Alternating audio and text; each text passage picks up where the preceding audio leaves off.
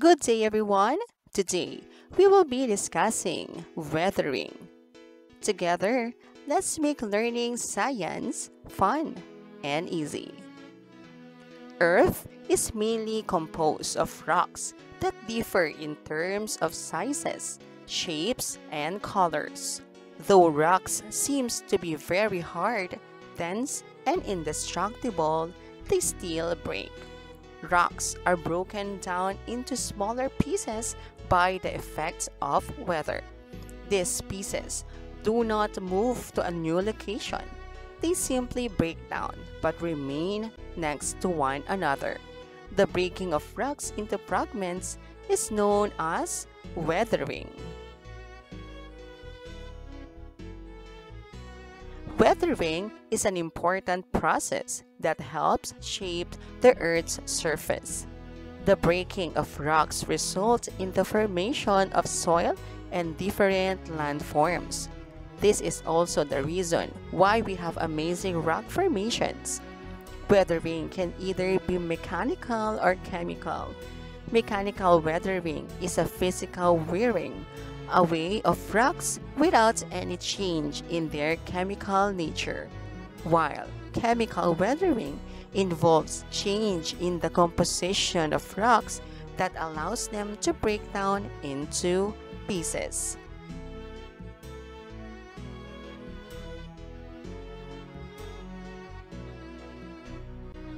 Agents of weathering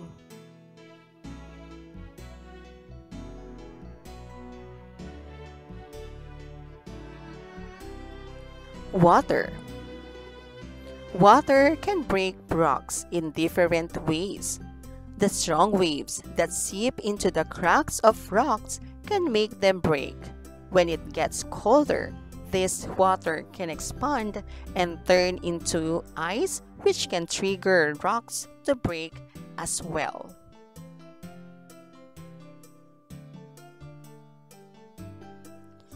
Wind Wind is another agent of weathering that causes beautiful formations like the Mahayao Arc in Sabtang Island, Batanes, Philippines. As the wind blows, it carries sand or small rock particles that scratch the rock's surface. This can bring out about mechanical weathering, which can also result to different rock formations.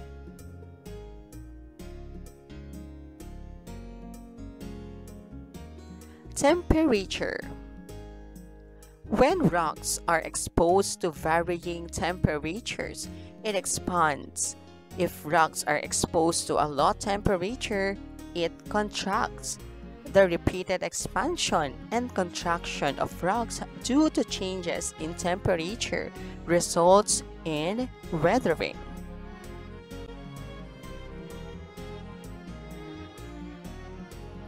Plants some plants, like lichens, ferns, and mosses, can also trigger weathering.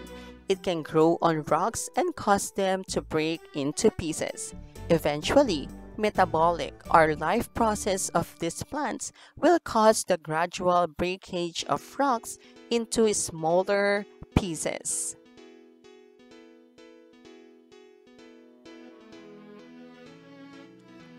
Animals Animals that live underground also contribute to weathering. As burrowing animals dig deeper, they cause rocks to break into pieces.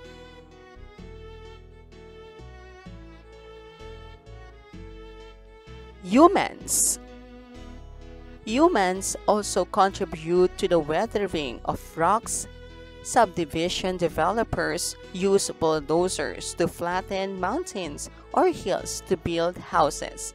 Some construction workers use jackhammer to break boulders of rocks as they repair roads.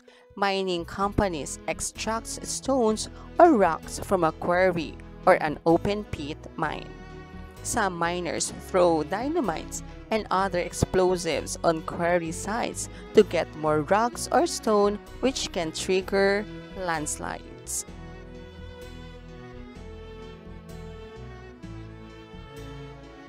Let's do this! The activity that you are going to perform will clearly explain weathering through communicating the data collected from the investigation on the soil erosion.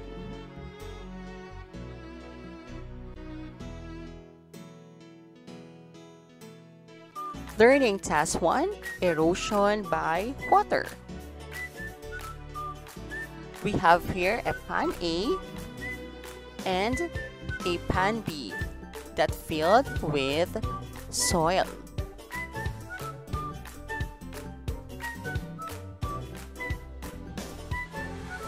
Put gradually water into the pan A.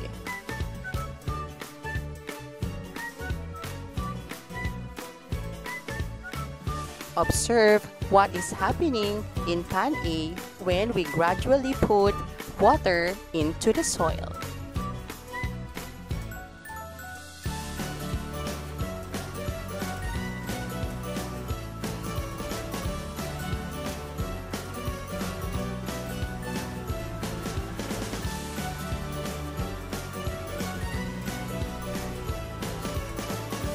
In pan B, let us put the water rapidly. Observe what happened.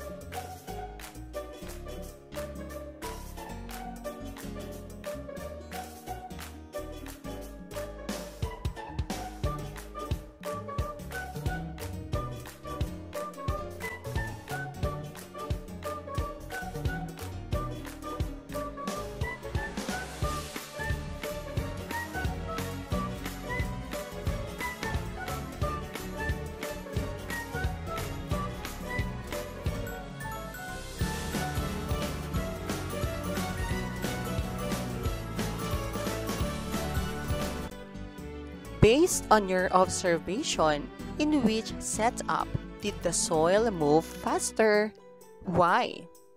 In setup B, the soil moves faster because of the rapid flow of the water.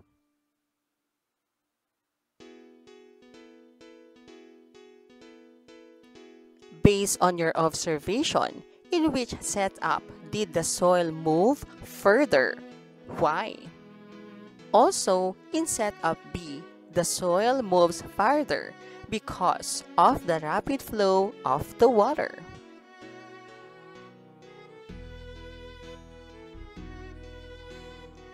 Based on your observation, which setup moved more soil? Why? Also, in setup B, the soil moves more soil because of the rapid flow of the water. As you observed, what happened to the color of the water? The color of the soil became darker as it ran with water.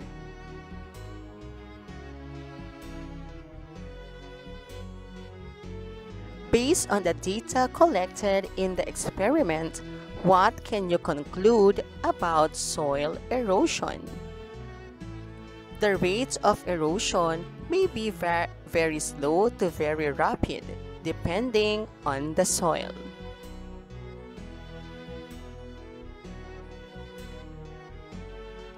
Learning Task 2 Showing Wind Erosion This is slow fanning of the sand. Observe what happens to the particles of the sand. Moderate fanning.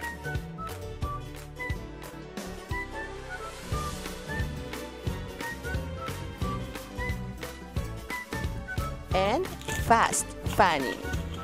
Observe what happens in the particles of the sand. As you observed, how does the speed of fanning affect the shape of the sand formed? The shape of the sand is circular. The sand particles move accordingly to how strong the wind was blown.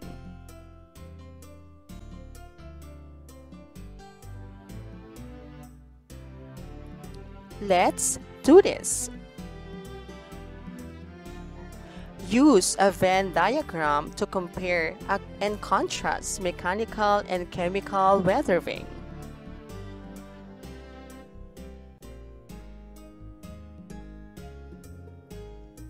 Mechanical weathering is a physical wearing away of rocks without a change in their chemical nature. While chemical weathering involves change in the composition of rocks that allows them to break down into pieces. They are the same that they are breaking of rocks result in the formation of soil and different landforms. Let's do this. Identify the change happening in each situation on the space provided before each number. Draw a heart eyes emoji if the change in an example of mechanical weathering and wow emoji if it is an example of chemical weathering.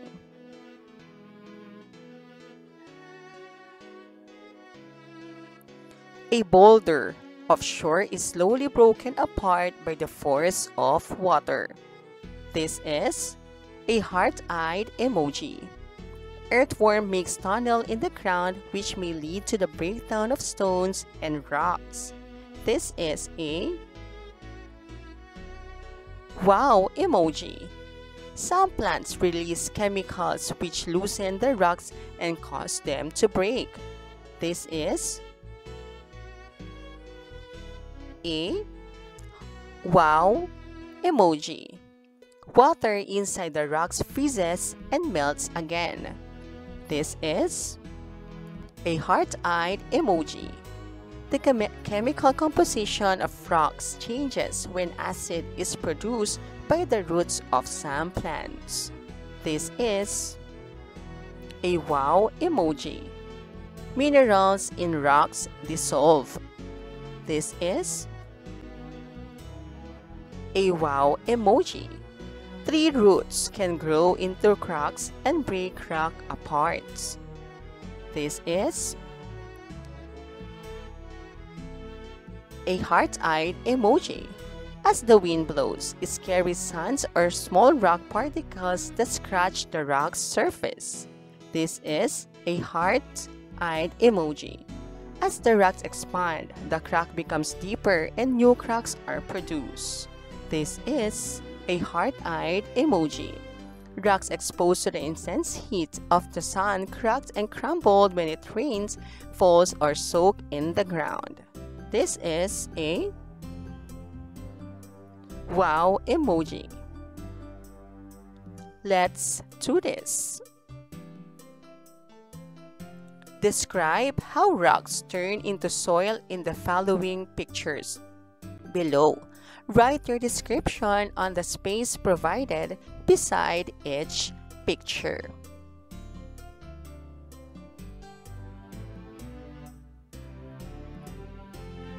Picture number one, it can grow on rocks and cause them to break into pieces.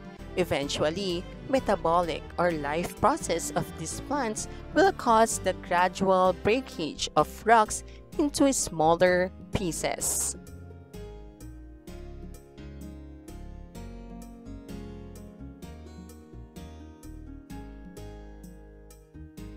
Some construction workers use jackhammer to break boulders of rocks as they repair roads. Mining companies extract stones or rocks from a quarry or an open pit mine.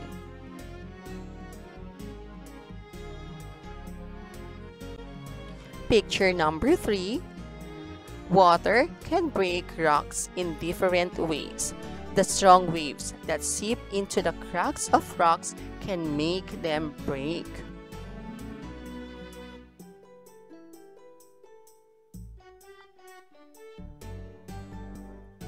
Let's do this. Read each question carefully. and circle the letter that corresponds to the correct answer.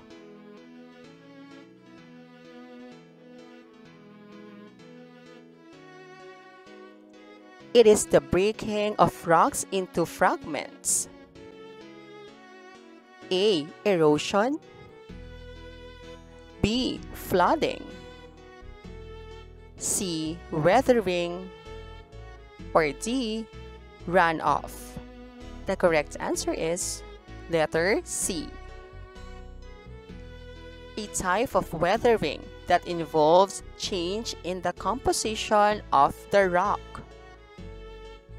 A. Chemical B. Both chemical and mechanical C. Mechanical or D. Electrical The correct answer is A. It is open pit mine where rocks can be extracted. A. Landfill Reservoir C. Open field or D. Quarry The correct answer is D. Which of the following tends to cause physical or mechanical weathering? A. Animals that burrow in the ground. B root of plants growing into the cracks in the rock. C. Water that seeps into the pores and cracks of rocks. D. All of this. The correct answer is D. What will happen to a rock when it is exposed to higher temperature? A. Contracts B. Evaporates C. Expands or D. Sin The correct answer is C. Let's do this. Match the definition in column A with the concept in column B.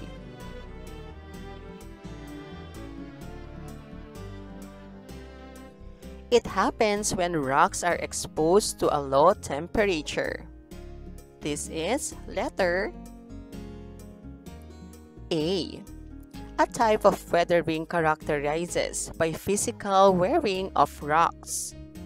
This is letter C. As agent of weathering, they dig deeper causing rocks to break into pieces. This is letter B. As it blows, it carries sand or small rocks particles that scratches the rock's surface. This is letter E, the process by which humans extract stones from mountains. This is letter F. Thank you for watching. Till our next science lesson. Goodbye.